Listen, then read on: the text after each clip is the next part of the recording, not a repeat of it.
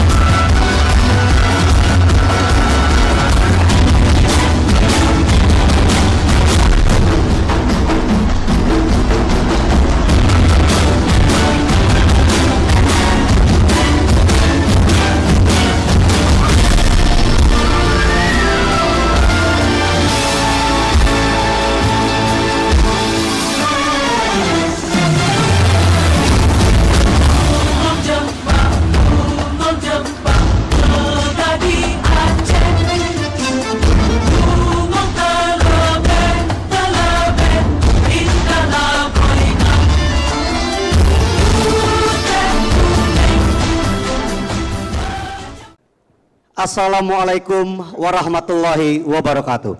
Shalom, Om Swastiastu, Nama Budaya, Salam Kebajikan, Salam Sejahtera untuk kita semua. Selamat pagi dan salam sehat tentunya kepada Bapak Ibu yang terhormat serta Bapak Ibu yang kami hormati dan tentunya di awal izinkan saya mengajak untuk bisa bertepuk tangan untuk Sanggar Tarisawan Pangurason yang sudah menampilkan sajian pembukaan yang sangat memukau ya. Dan tentunya kami ucapkan selamat datang dan selamat bergabung di acara penghargaan Adipura 2022 dan Penandatanganan perjanjian pembayaran insentif untuk Provinsi Kalimantan Timur dalam kerangka implementasi Plus FC PF. Kita berikan tepuk tangan yang luar biasa untuk kita semua pada pagi hari ini. Bapak Ibu sekalian, izinkan kami tentunya menyapa jajaran tamu kehormatan yang sudah bergabung pada kesempatan kali ini. Yang pertama tentunya selamat datang, selamat bergabung kepada yang terhormat Ibu Profesor Dr. Insinyur Siti Nurbaya MSc selaku Menteri Lingkungan Hidup dan Kehutanan Republik Indonesia dalam Kabinet Kerja 2014 sampai dengan 2019 dan Kabinet Indonesia kepada periode 2019 sampai dengan 2024. Saya senang sekali tutup pada kesempatan kali ini saya DB Glenn Firmansyah dan rekan saya Ya, dan saya Syarifah Rahma. yang tentunya akan menemani Bapak Ibu sampai dengan akhir acara untuk bersama-sama mengetahui seluruh rangkaian dan siapa saja yang akan menerima penghargaan Adipura. Adipura yang pertama adalah kategori Taman Kota Terbaik diberikan kepada Taman Kota Tebet Eco Park, Kota Administrasi Jakarta Selatan. Berikutnya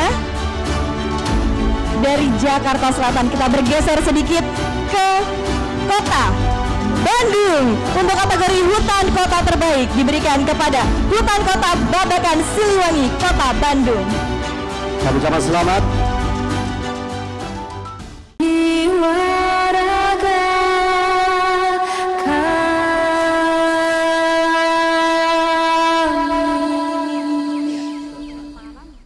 So welcome to Wonderland, Indonesia, the sacred Musa Tara.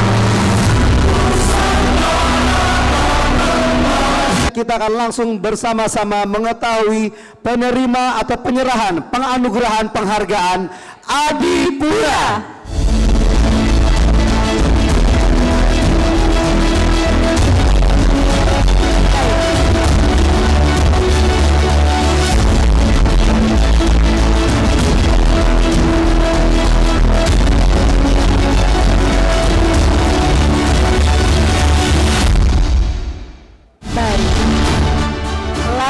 Saja kita akan langsung menyerahkan penganugerahan penghargaan Adipura kategori kota kecil diberikan kepada Kandangan Kabupaten Hulu Sungai Selatan.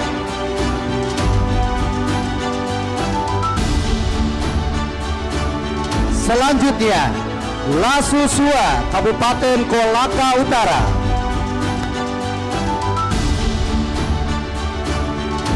berikutnya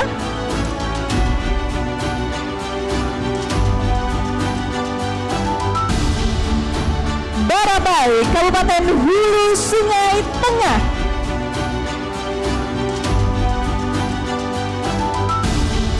Selanjutnya Penajam Kabupaten Penajam Pasir Utara.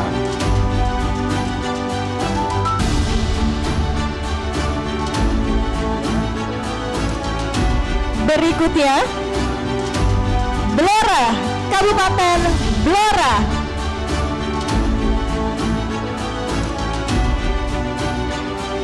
Selanjutnya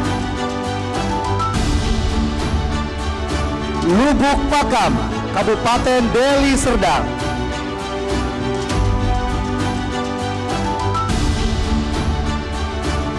berikutnya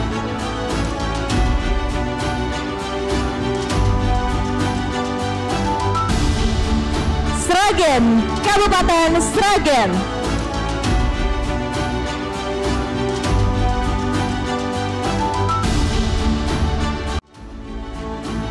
Penghargaan berikutnya diberikan kepada Purwodadi, Kabupaten Grobogan.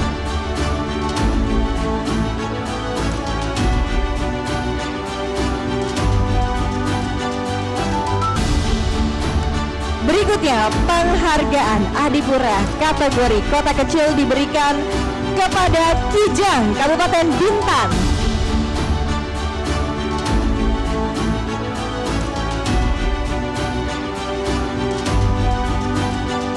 Selanjutnya Malili, Kabupaten Luwu Timur.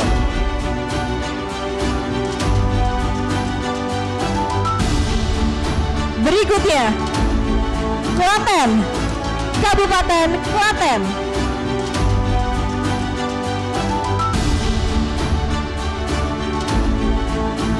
Selanjutnya Nunukan, Kabupaten Nunukan.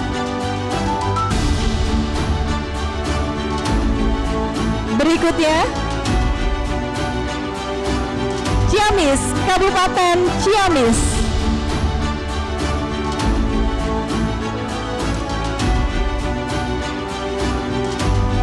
Selanjutnya, Lubuk Basung, Kabupaten Agam.